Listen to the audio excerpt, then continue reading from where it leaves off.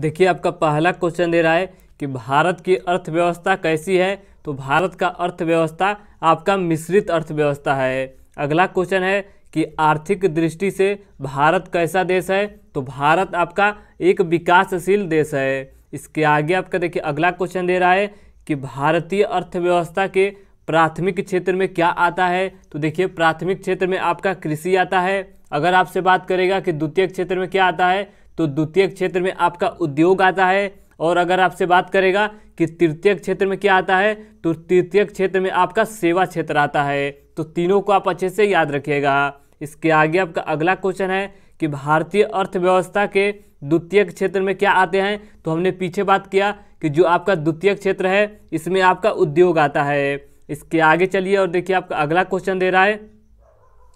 अगला आपका क्वेश्चन है कि व्यापार, परिवहन संचार एवं सेवा भारतीय अर्थव्यवस्था के किस क्षेत्र में आता है? तो देखिए आपका जो सेवा क्षेत्र है, यह आपका तृतीय क्षेत्र में आता है। और जो तृतीय क्षेत्र है, इसका सबसे ज़्यादा आपके भारत के जीडीपी में योगदान है। तो आपसे डायरेक्ट क्वेश्चन पूछेगा कि भारत के जीडीपी में किस क्षेत्र का सबसे ज़्यादा योगदान है? तो बताइए कि तृतीय क्षेत्र का सबसे ज़्यादा योगदान है। इसके आगे आपका देखिए अगला क्वेश्चन दे रहा है कि अर्थशास्त्र का जनक किसे कहा जाता है? तो एडम स्मिथ को कहा जाता है। इसके आगे आपका अगला क्वेश्चन है कि लगातार बढ़ती कीमतों की प्रक्रिया कहलाती है तो इसे हम मुद्रा स्फीति कहते हैं।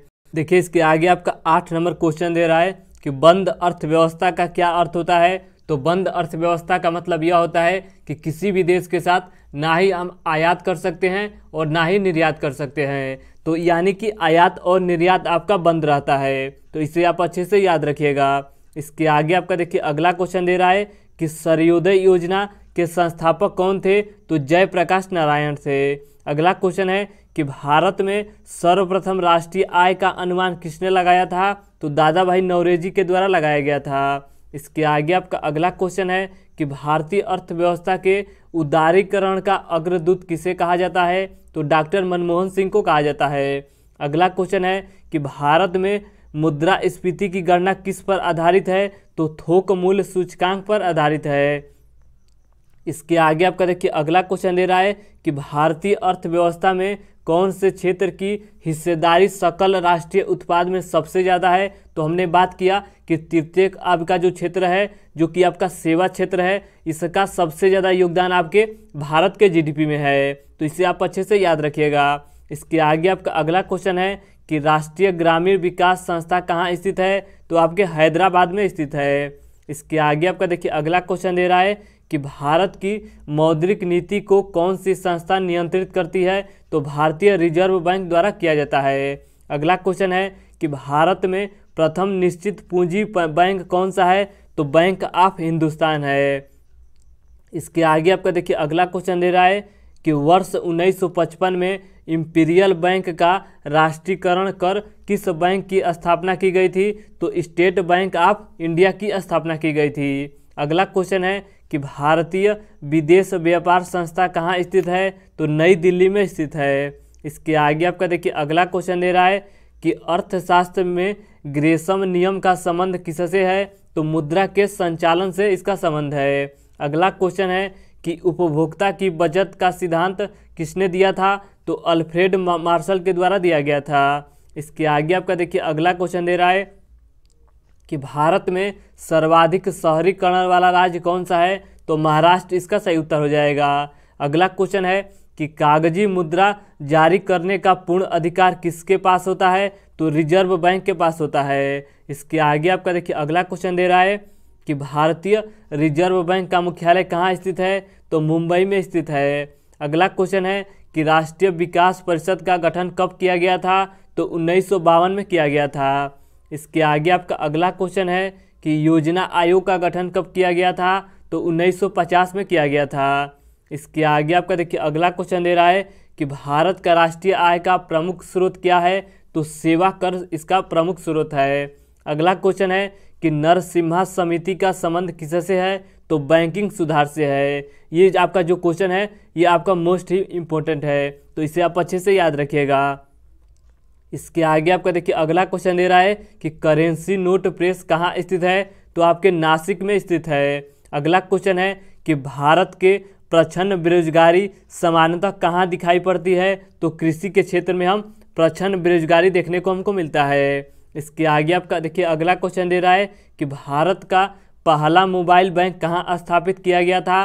तो मध्य प्रदेश के खरगोन ज़िले में किया गया था। इसके आगे आपका देखिए अगला क्वेश्चन दे रहा है कि भारत में प्रथम पंचवर्षीय योजना कब से प्रारंभ की गई थी तो वर्ष उन्नीस सौ इक्यावन से प्रारंभ किया गया था। इसके आगे आपका अगला क्वेश्चन है कि मुद्रा की मात्रा में कमी क्या कहलाती है तो इसे हम मुद्रा का संकुचन कहते हैं। इसके आगे आपका देखिए अगला क्वेश्चन दे रहा है कि जब सरकार की आय कम हो तथा व्यय ज़्यादा हो तो अर्थव्यवस्था को क्या कहते हैं तो वैसी अर्थव्यवस्था को घाटे की अर्थव्यवस्था कहा जाता है। अगला क्वेश्चन है कि नाबार्ड बैंक का पूरा नाम क्या है? तो राष्ट्रीय कृषि एवं ग्रामीण विकास बैंक इसका पूरा नाम है।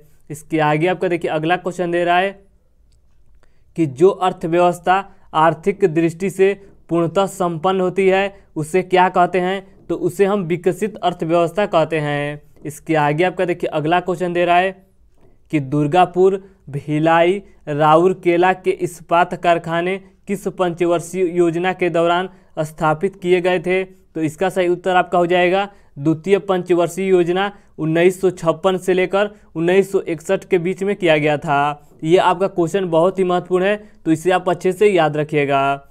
देखिए, इसके आगे आपका अगला क्वेश्चन दे रहा है कि अंत्योदय योजना कार्यक्रम किस वर्ष प्रारंभ किया गया था?